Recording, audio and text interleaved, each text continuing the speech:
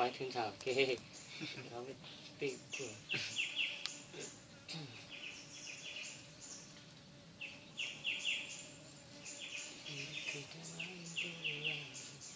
Ini jelas ya, sik ngei ngono ki Sumber air, sumber air ki. Plus minus 100 meter soal ini. Nah ini ono apa ono ini? Ora arah